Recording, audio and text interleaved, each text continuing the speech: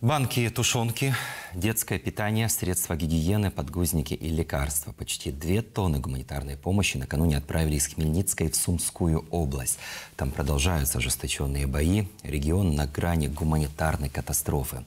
Хмельницкая областной военной администрация уверяет, ресурсы для помощи есть. Население региона не голодает. Крупы, подсолнечное масло и сахар – все украинского производства и высшего качества. Оккупанты, начав войну с Украиной, наказали и свой народ. В российских магазинах люди дерутся за сахар и соль. А сахаровары Хмельницкой области уверенно смотрят в будущее. На складах сладкого продукта вдоволь. Я хочу вас запевнити, що Я хочу вас уверить, страна будет с сахаром. Остатки сахара есть и предостаточно. С начала войны стоимость сахара у нас не менялась. не змінювалась. В регионе удалось сохранить работу всех предприятий, выпускающих социально значимые продукты. В Хмельницкой области работают все социально значимые предприятия. Как таковых проблем в торговых сетях вообще пока что нет. На продуктовых рынках тоже все есть.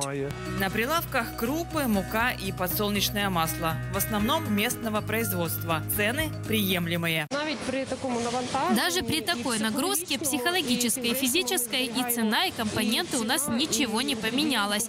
Работаем в том же темпе, только с боевым настроем. з бойовим духом.